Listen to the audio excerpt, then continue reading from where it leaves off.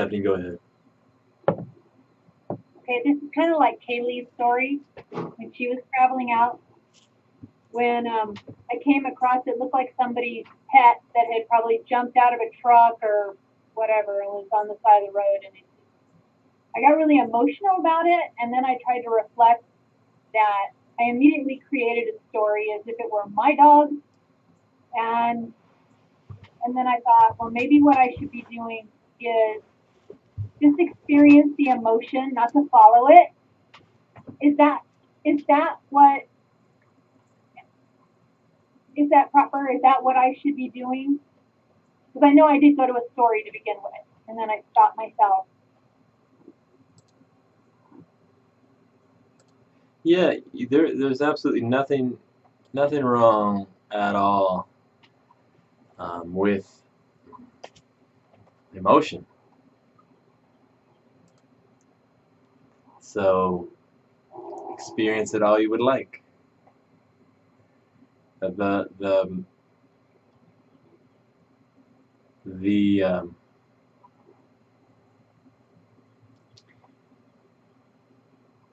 the point of awakening isn't to come to an end of emotion and feeling.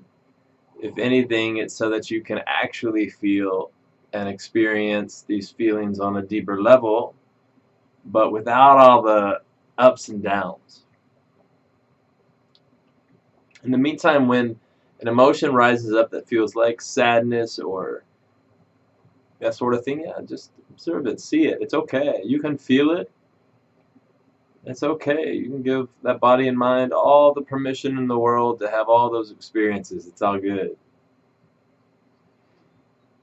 But as long as you're realizing, and so again, you can know in the true realization of who you are, the story's end.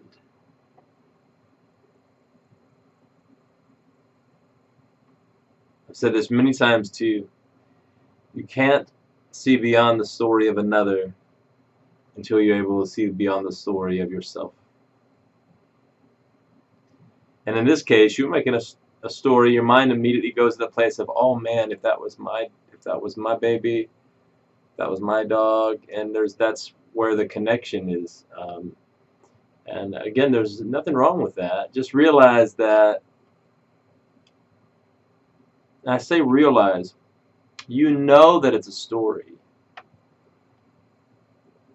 you can know that you're not the one that dies, nor are you the one that was born. You can know that the that animal, that dog, did not just die, but if anything is transitioning energetically, and yet you still create the story, and there's nothing wrong with that.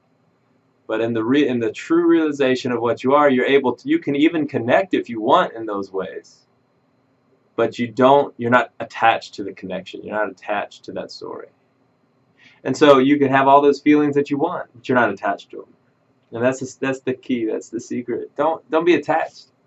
Don't attach yourself to those feelings. Enjoy them or feel them and experience them however you would like but no need to attach to them I have personally gone through lots in my journey lots of moments and times where Beth thought I would become a robot and she's like you don't feel anymore. You don't care about anything anymore. Like I know you love but it doesn't seem like you love anybody anymore any less than anybody else. And she she would say this to me. I've had so many people say this to me over the years but she still you know she's even I don't remember when the last time probably weeks ago or something she said well you love everybody. I said I love you baby. She goes well you love everybody.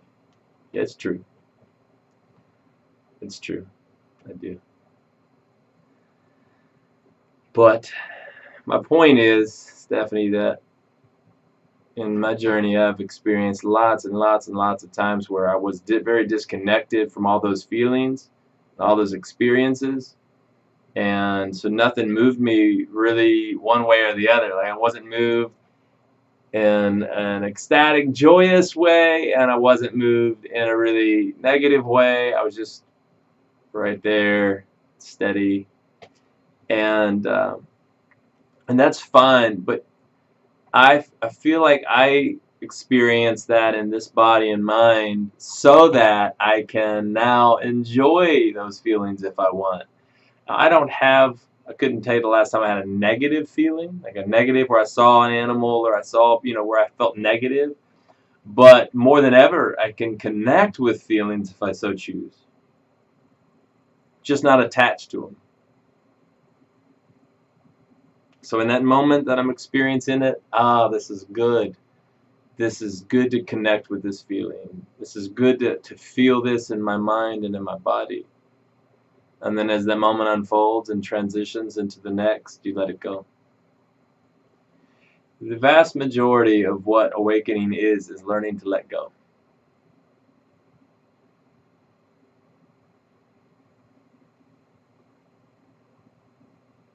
So you, you recognize that the problem for people is that they are a story. The person, I refer to the person, I'm just talking about the story that you believe you are. You are a story. And if you are a person, you are the story, then you are always making up stories about yourself and about others, about everything. And um, very attached to every one of those feels along the way, yeah? And so you're, you're riding real high in moments and low in others. This, this uh, suffering, this is suffering, and it's all due to attachments, not to the emotion. It wasn't the emotion that brought suffering. It was the attachment to it. I am so sad, or I am so this. Instead of, oh, there it is. I can enjoy this in my mind and body, or feel it, experience it, without attachment. The trick is to learn to let go of it. Because what you end up doing is you end up carrying that layer of story along with you as a burden. It becomes a weight that you're carrying around. And uh, when you walk into my presence, I can tell immediately whether you're carrying weights around with you. and um, you just don't have to carry them. There's grace here in this moment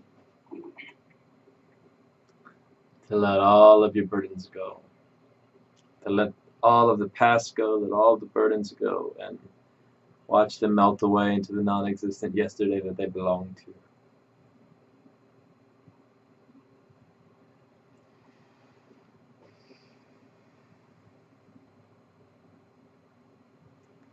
Maurice, go ahead. Is there another level of not even having to let it go? I mean, yeah, of course. If you don't attach, the trick. if you don't attach, you never have to let it go. You must learn to let it go. As long as there is a self, a person, you have to you have to learn to let it go. Again, this is the awakening. Pro this is the awakening. So um, I, I tell you guys all the time, don't. There's nothing you need to pursue. There's nothing you need to become.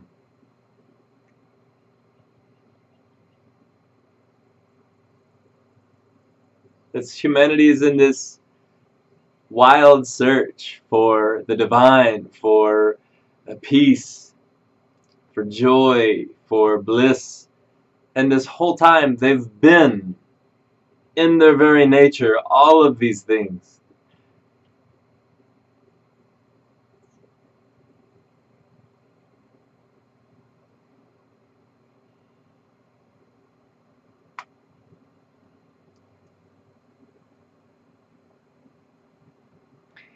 But as long as you believe you are a person, as long as you have a belief about yourself,